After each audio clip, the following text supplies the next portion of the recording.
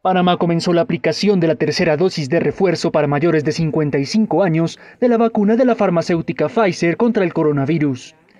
Según explicó la ministra consejera de Salud, Eira Ruiz, la decisión se tomó basada en las estadísticas de pacientes hospitalizados graves, que reflejaban más ingresos a partir de la edad mencionada.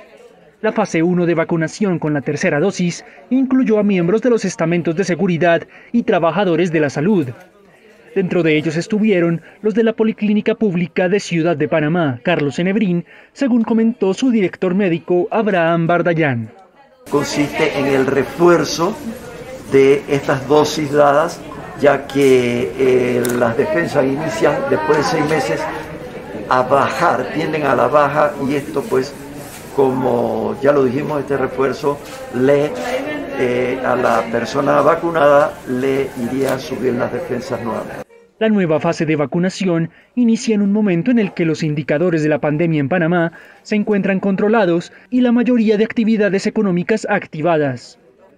Según las autoridades, a finales de octubre se espera inocular al 80% de personas que pueden recibir la vacuna.